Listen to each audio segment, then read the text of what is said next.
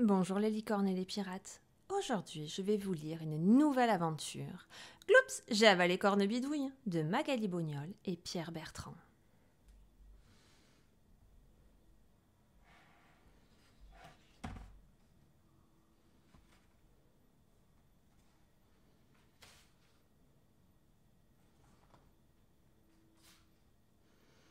Pierre, veux-tu mettre cette poubelle dans le jardin, s'il te plaît? Elle ne sent pas très bon. Oui, maman, je m'en occupe tout de suite. C'est très bien, mon chéri.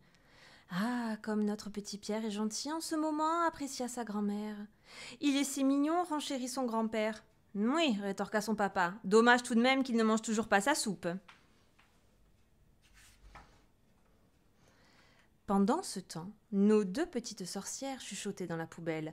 Nom d'une crotte de bidouille, ce petit morveux nous a encore eu. Pas pour longtemps, répliqua l'autre. Unissons-nous et nous le mettons à genoux. Et aussitôt, corne-bidouillis, corne-bidouilla, deux en une, redeviendra. C'est ainsi que nos deux sorcières ne furent de nouveau qu'un seul grain de poussière, qui escalada le dos de Pierre?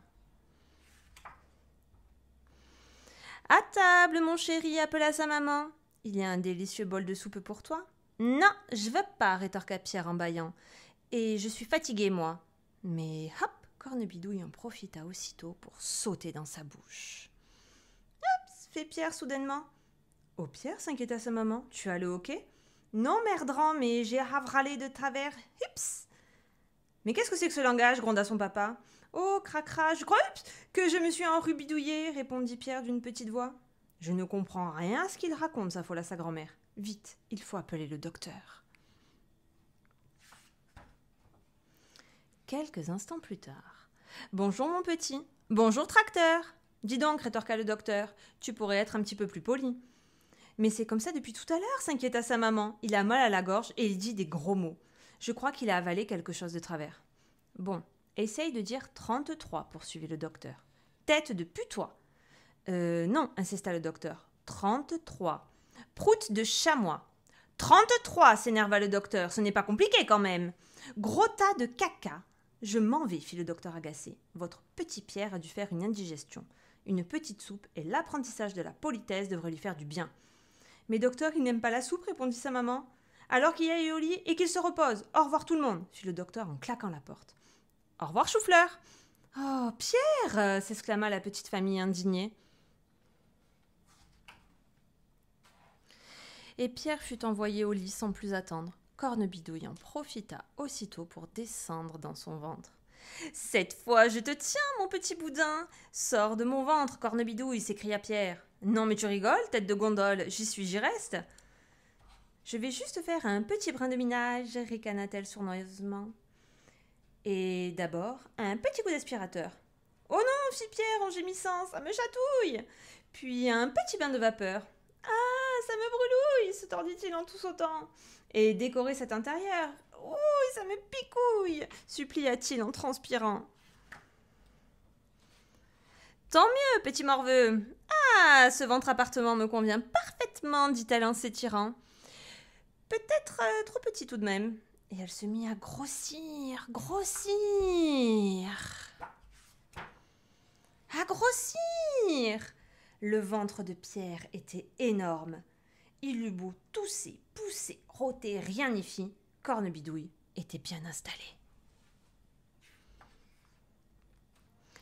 C'est alors qu'il eut une idée. Vous avez gagné, madame la sorcière. Je vais manger ma soupe. Mais sortez de là, par pitié, sinon je vais éclater. Eh bien, vas-y, face de pissenlit, mange-la, cette soupe. Mais si vous êtes dans mon ventre, je risque de vous noyer. Ah, c'est vrai ça. Non d'un pipi de chimpanzé, je n'y avais pas pensé. Et puis je salirai votre jolie chevelure. Ah bon? J'abîmerai votre belle robe de verdure. Ah bon? Et vos si jolis yeux bleu azur. Ah bon? Oh fit-elle en se trémoussant. Foi de tourterelle, c'est la première fois qu'on me trouve belle. Mais si je sors, reprit-elle sévèrement, est-ce que tu la mangeras vraiment, cette soupe? Bien sûr, bien sûr, madame Cornebidouille, répondit Pierre malicieusement, en se dirigeant vers la cuisine. Eh ben, j'arrive tout de suite, gloussa-t-elle en se rétrécissant. Mais dès qu'il sentit la sorcière sur sa bouche, Pierre se précipita à la cuisine, s'empara de la soupière et cracha Cornebidouille dedans.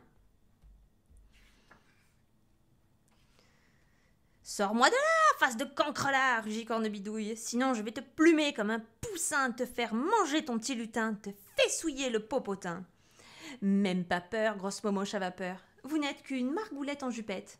Comment Une tripette de vieille biquette à sonnette. Comment Une mémé poulette qui pue et qui pète. Comment Bon ben, madame la sorcière.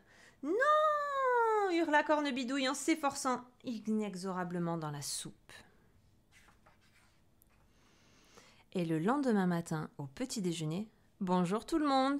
Bonjour mon chéri, on dirait que tu as meilleure mine aujourd'hui, se réjouit sa maman. As-tu mangé ta soupe? Euh, non, répondit Pierre timidement. J'ai juste craché dedans. Mais c'est dégoûtant, tonna son père en s'énervant. Pas mal et cœurant, insista son grand-père à grimaçant. C'est que j'avais très mal au ventre, se justifia Pierre en se tortillant. Zut ajouta sa grand-mère en souriant. Et moi qui pensais te préparer ce soir un bon bouillon de pommes de terre. Tu es sûr que tu n'en prendras pas? Non, je veux pas.